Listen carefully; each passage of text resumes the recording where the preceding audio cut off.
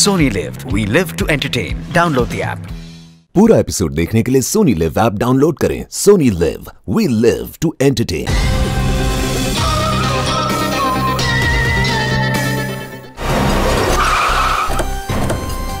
यार ये सब कैसे हो गया है रतुल यार? सब कुछ खत्म हो गया है यार। अब कैसे रहेंगे भाई साहब के बिना?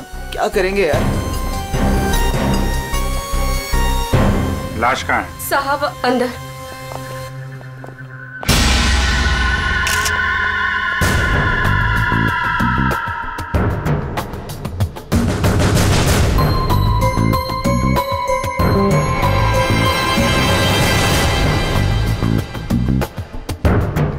गोली मारी है। तुम जरा कमरे को अच्छी तरीके से चेक करो। तब तक इन लोगों से मिल लेते हैं। क्या कहानी है? आप लोगों में से किसी ने गोली चलने की आवाज़ सुनी थी क्या? हाँ साहब मैंने गोली की आवाज़ सुनी थी। यस सर गोली की आवाज़ तो मैंने भी सुनी थी। लेकिन जब हम दोनों आलोक के कमरे में गए थे तब वहाँ कोई नहीं था। ये गन? दरअसल मैं एक सिक्योरिटी कंपनी में काम करता हूँ। और मिस्टर आलोक ने अपने पर्सनल सिक्योरिटी के लिए मुझे बुलाया था। और उसी सिलसिले में मैं उनसे मिलने आया था। पोस्टमार्टम के बाद पता चल जाएगा कि वो गोली इस गन से चली है या किसी और गन से। लाइए। आप सबको कब पता चला इसके बारे में? सर वो कमला ने हमें बताया था।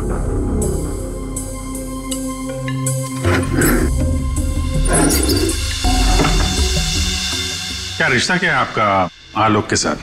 सर ये उनके भाई है और ये अतुल उनके भतीजे और मैं इनकी वाइफ और आप आप क्या लगती है इनकी? जी मैं उनकी लॉयर हूँ। आप? ही इज़ माई अंकल वो मेरे मामा थे। बहुत मानते थे मुझे। मुझे मुझे वो सबसे ज़्यादा मानते थे। क्या मैं उनका दुश्मन था? मैं उनका फेवरेट भतीजा हूँ। कहना क्या चाहते हो? सबसे ज़्यादा साहब दूर के रिश्तेदार हैं ये लोग। क्या बकवास कर आज रही है? तक कभी आलोक साहब का हाल चाल तक लेने नहीं आए। असल में आलोक साहब इन लोगों को ज़्यादा पसंद नहीं करते थे। कमला चुप हो जाओ यही सही होगा तुम्हारे लिए। इतने ही आप लोग अपने थे तुम तो चुप रहोगे तो ही सही रहेगा। मुझे एक सब मिनट पता एक मिनट एक मिनट। आपको भी कुछ बोलना है? दरअसल आलोक ने मुझे अपनी वसीयत में कुछ लीगल चेंजेस करने के लिए बुलाया था। मेरी फ़ोन पे बात भी हुई थी उनसे लेकिन उनकी वसीयत पूरी ना होने की वजह से हम आगे बात बन नहीं पाई। हेलो मैम ऐसी कोई बात नहीं थी। अगर ऐसा कुछ भी होता ना तो हम लोगों को एक बार बताते ज़रूर। कहीं तुमने ही तो उनके कान नहीं भर दिए। Exactly exactly. और वैसे उन्होंने तुम्हें अपना लॉयर बना भी कैसे लिया? देखकर तो लगता है अभी अभी कॉलेज से निकली हो तुम। कहना क्या चाहती हैं? ये लोग तो आपस में लड़ रहे हैं। तमीज में रह के बात करिए?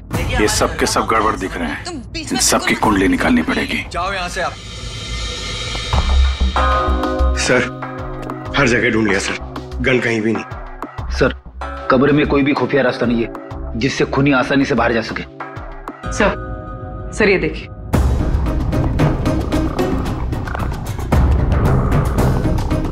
दो गोलियों के निशान। सर इसका मतलब गोली तीन बार चली थी। दो गोली यहाँ पर लगी और एक आलोक को।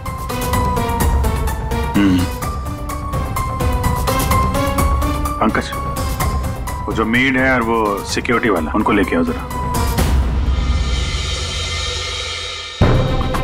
आइए।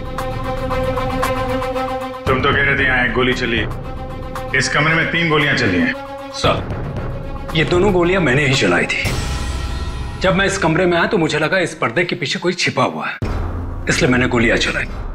लेकिन सर इस पर्दे के पीछे कोई नहीं था।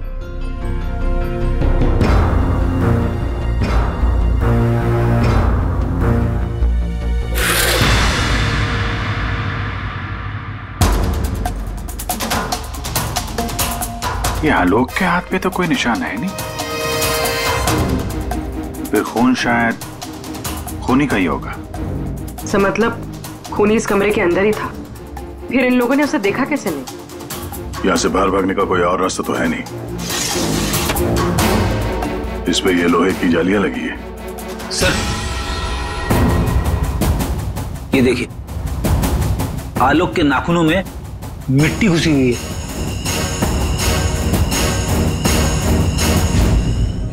कहाँ से आ गई इसकी उंगली में? सब शायद घर के बाहर से?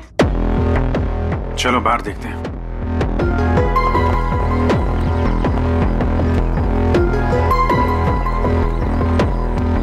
जिस तरह से गाड़ी खड़ी है ऐसा लगता है बड़ी हड़बड़ी में ये गाड़ी पार्क किया है यहाँ पे जैसे कोई इसका पीछा कर रहा था। सर यहाँ पर तो मिट्टी का नामो निशान तक नहीं दिख रहा। हम्म। लगता है मिट्टी कहीं और से आई है।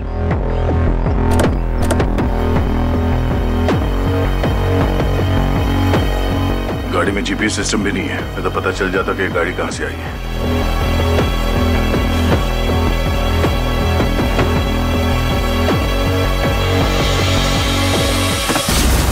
टोल नाका की पर्ची? ये करजत टोल नाका की पर्ची है। करजत गया था क्या आलोक सर भाई साहब का करजत में एक फार्म हाउस है। क्या पता शायद वहाँ पे गए होंगे? ओह, हो सकता है ये आलोक अपने फार्म हाउस पे गया हो करजत। वहाँ पे खूनी ने उस पर हमला करने की कोशिश की।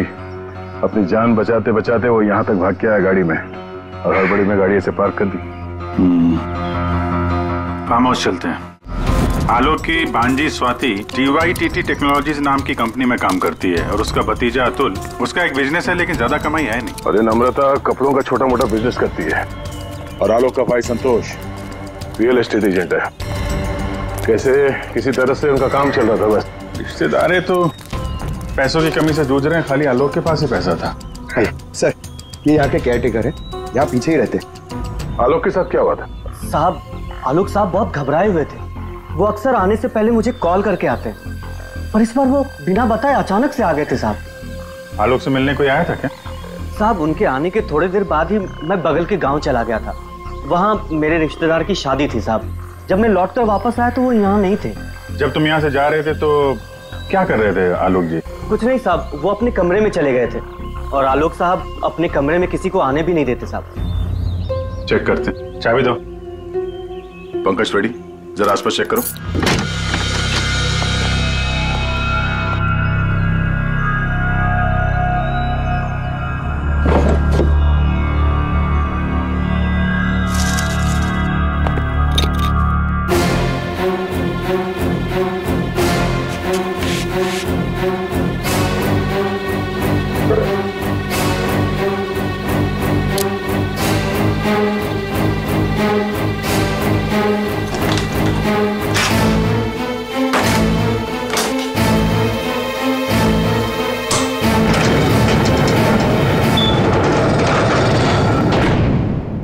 कैसी आवाज़ है आवाज़ तो कबर से आ रही।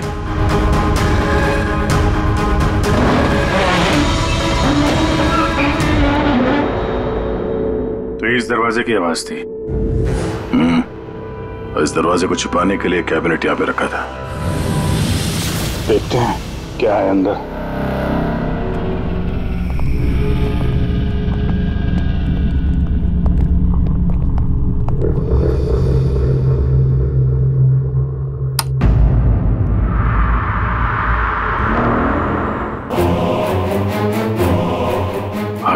बारी तुम्हारी? लगता है किसी ने आलोक को धमकी दी थी। सर मतलब जिसने भी ये लिखा है वो आलोक की सीक्रेट जगह के बारे में जान चुका था। ज़रूरत की सारी चीज़ें हैं यहाँ पर। ये देखो लगता है इस आलोक ने इस लॉकर के अंदर कोई ज़रूरी चीज़ छुपा के रखी होगी।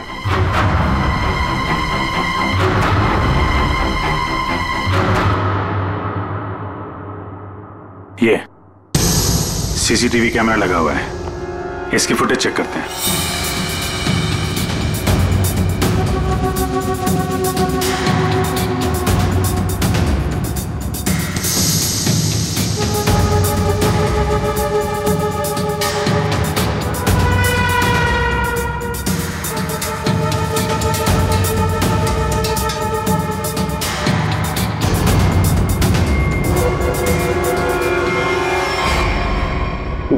कौन रहा कोई दिख तो नहीं रहा। मार किसको रहा है यहाँ पे?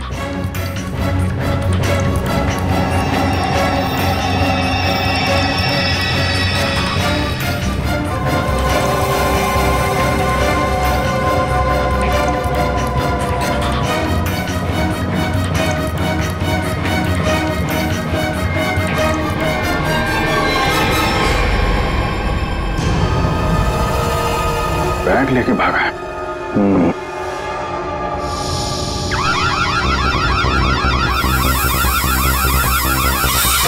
पूरा एपिसोड देखने के लिए सोनी लिव ऐप डाउनलोड करें। Sony LIV we live to entertain